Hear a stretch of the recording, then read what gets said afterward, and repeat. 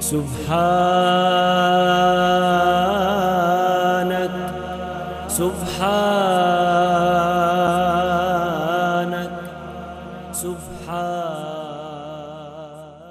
بسم الله الرحمن الرحيم. الحمد لله والصلاة والسلام على سيدنا رسول الله وعلى آله وعلى أصحابه وعلى التابعين لهم من هذه الأمة بإحسان وصدق يقين إلى يوم الدين. الإخوة المشاهدون السلام عليكم ورحمة الله وبركاته. في حلقتنا هذه نتكلم عن القلب وهو الجارحة أو العضو الهام في حياة الإنسان وموقع من بناء الشخصية المسلمة. قال سبحانه وتعالى في كتابه العزيز إن في ذلك لذكرى لمن كان له قلب أو ألقى السمع وهو شهيد. هذا العضو الذي خلقه الله في الإنسان وأطلق عليه سلطان الجوارح وخصص في كتاب الله تعالى وفي سنة النبي محمد باعتبارهما الأصلان الذي نجد فيهما معالجة كل شؤون الحياة خصهما بكلام عظيم وبتوجيه هام.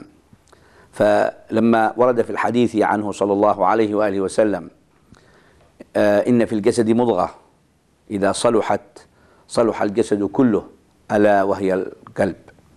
إذا هذا القلب كما أن له وظيفة مادية ظاهرة وهي ضخ الدم واستقبال الدم مثلا الفاسد أو غير ذلك معروف في العملية المألوفة فإنه أيضا له جانب معنوي.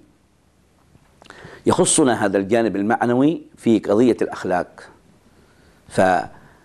فالله سبحانه وتعالى لما بنى هذا الهيكل الإنساني جعل جزءا من حياة هذا المخلوق مبنية على معرفة ظاهر الجسم من جذع وأطراف ورأس وجزء مبني على الدراسة الباطنة لهذا الجسم وهي ما يتعلق بكمال الوعي وكمال المدركات والوجدان والعاطفة وما إلى ذلك. فجعل الله سبحانه وتعالى مركز الاستقبال للمسؤوليات هو القلب. ولهذا نجد أن القرآن في أكثر من موقع يخاطب هذا القلب ويتحدث مع هذا العضو الهام في حياة الإنسان. بل حتى القرآن قال نزله على قلبك. أي أن جبريل عليه السلام كان يتجلى على قلب النبي محمد صلى الله عليه وآله وسلم. وكلمة التجلي أي كمال العطاء وكمال الفيض. إذا في ديننا الإسلامي صار القلب له موقع هام في ضبط الجوارح كلها والموقع الهام يشار به إلى ضرورة الاهتمام بتربية هذا القلب بتوجيه هذا القلب باحتضان هذه العاطفة الموجودة في القلب وحسن توجيهها إلى مراد الله. ولهذا يأتي القرآن كأول عامل من عوامل توجيه القلوب إلى مراد الله في الحياة. تأتي أيضا سنة الحبيب صلى الله عليه وسلم في الجانب الآخر لأجل توجد هذا التوازن في هداية هذا القلب إلى إلى مولاه إلى ما أودع الله سبحانه وتعالى فيه من سر. فعلى سبيل المثال هناك مثل دائما شائع لما نرى الآن في حياة الشعوب مثل دائما يدور في حياة الناس يقولون العقل السليم في الجسم السليم. وبالطبع هذه شائعة وظاهرة في حياة الشعوب. يقولون العقل السليم في الجسم السليم. وصارت هذه اللفظة مثال لرجال الرياضة لشباب المصارعة والملاكمة. بل صارت مبدأ من مبادئ بناء الأجيال أن تقول العقل السليم في الجسم السليم. عندما نضع هذه العبارة على كف المحاسبة الشرعية بل حتى على كف الإنسان الذي يفكر. هل حقيقة أن الذي يكون جسمه سليم بالظواهر المعروفة من بناء الجسم المتكامل فعلا يكون عقله هذا سليم بهذا المخرج الكامل المطلق؟ نجد أن هذه اللفظة جاءتنا وردت إلينا نحن كأمة محمدية أو كأمة إسلامية من من من مجتمع لا يولي قضية القلب لا يعطي العاطفة مكان شرعي. لا يعطي الأحاسيس مكانتها التي يريدها الله بل ربما جعل جعل هذه القضية مبنية على اختيارات العقل الإنساني ذاته. فلهذا قال قال الإنسان إن العقل السليم في الجسم السليم. نعيد هذا إلى الشرع نعيد هذا إلى الدين نعيد هذا إلى الإسلام. الإسلام يرفض هذا ويأبى أن يكون العقل السليم في الجسم السليم. ويقول آه أن العقل السليم الإسلام يقول العقل السليم في القلب السليم. فرق كبير بين الرؤيتين بين جيل ينشأ أن سلامة عقله في سلامة جسمه وبين جيل ينشأ أن سلامة عقله في سلامة قلبه. إذا هنا نعرف الفرق بين الإسلام وبين الكفر. من هذا الشعار نعرف الفرق بين الإسلام بين الكفر بين الإسلام بين النفاق. بين الإسلام بين الأفكار الإنسانية التوليفية العامة. إذا الإسلام له ضابط شرعي وهو يرى أن بناء العقل السليم في حياة الشعوب ينبني على بناء القلوب السليمة. فالرياضة مثلا أو بناء الحركي في الجسم أو بناء الأجسام هذا مطلب مطلب من المطالب الثانوية في الحياة. لكن المطلب الأساسي ليس بناء الأجسام وإنما بناء الأرواح والقلوب. وهذا الروح والقلب هو محل العاطفة محل الأمن محل الصدق محل الإخلاص محل العلاقة بالله تعالى. لذلك ركز الإسلام على ذلك ويقول الحق سبحانه وتعالى في كتابه العزيز عن يوم المصير يوم لا ينفع مال ولا بنون. البنون والمال يأتي بقوة الجسد. لكن هذا لا ينفع. عندما يأتي يوم الحساب في الآخرة يوم لا ينفع مال ولا بنون إلا من أتى الله بقلب سليم. ممكن يأتي إنسان بجسم سليم لكن هذا الجسم السليم ليس له ميزان في عالم الحساب والعقاب وإن كان صاحبه كامل البنيان وقد حصل آه، نقص أو حصل ضعف في علاقة القلب بالله علاقة القلب بالمسؤوليات. على علاقة القلب بالواجبات بل علاقة القلب بالعاطفة. إذا فعندما قال سبحانه وتعالى آه، يوم لا ينفع مال ولا بنون إلا من أتى الله بقلب سليم فسلامة القلب أن يحافظ المسلم تحافظ المسلمة على هذه الجوهرة التي هي القلب أن يرد إليها وارد سلبي أن تكون مخرجاتها مخرجات مخالفة للشرع. لأن أهل العلم يقولوا أن القلب كالوعاء وله نوافذ فالعين نافذة والأذن نافذة وحركات الجوارح نوافذ كلها تريد إلى القلب فتؤثر عليه.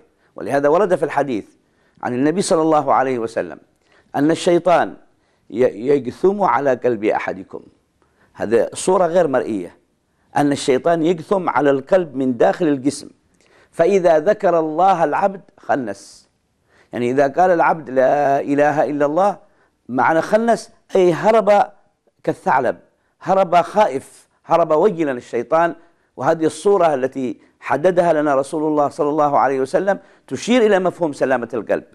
وأن للشيطان موقع على القلب ذاته في بعض الشروح في صحيح مسلم وهو شرح الإمام الأبي يقول فيه أن رجلا في عهد النبي صلى الله عليه وسلم سأل النبي أن يريه موقع الشيطان من القلب.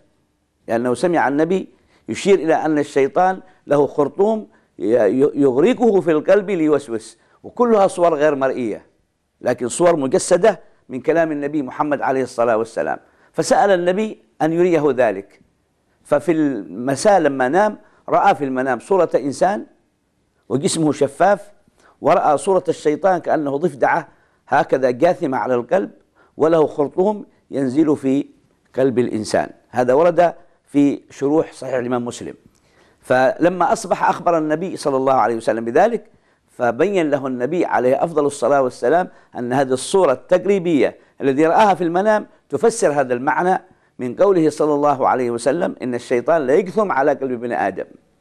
فهذا الجثم أو هذه السيطرة أو هذا الاستيلاء على قلب ابن آدم فيها شيء من الخطورة ما تذهب إلا بتيقيظ القلب بذكر الله. بالطبع ذكر الله المقصود به ما قد سبق الحد من الالتزام في باطن القلب.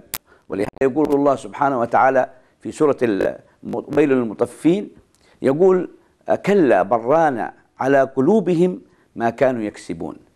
لو أتينا بأي طبيب في هذا العصر ليظهر لنا ماذا يوجد في قلب الإنسان من مفهوم الران لن يكتشفه. لأن هذه العلوم التي يدرسها العلماء من الجانب النظري تختص بشؤون ظاهرة في معرفة أمراض القلب. لكن ديننا الإسلامي اعتنى اعتناء خاص بقضية العمليات في القلب الإنساني من حيث الأمراض الباطنة التي ينبني عليها سلامة الروح وسلامة العقل وسلامة الحاضر وسلامة المستقبل وسلامة المحيا وسلامة الممات. ولهذا لما وصف أهل الكفر قال كلا بران على قلوبهم ما كانوا يكسبون. ماذا معنى يكسبون؟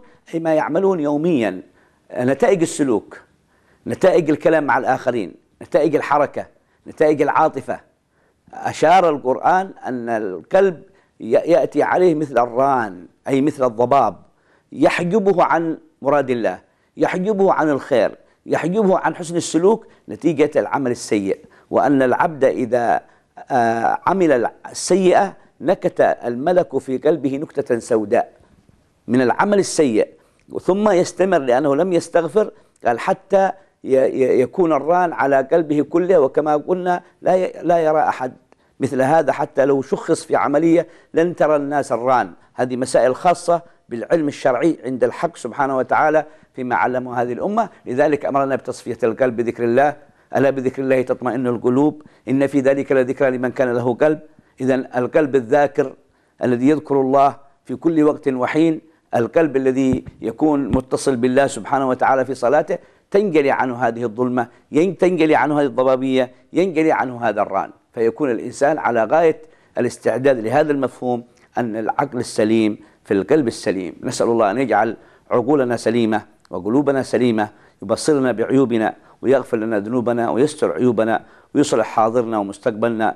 وصلى الله على سيدنا محمد وعلى آله وصحبه أجمعين. والحمد لله رب العالمين. سبحانك سبحانك.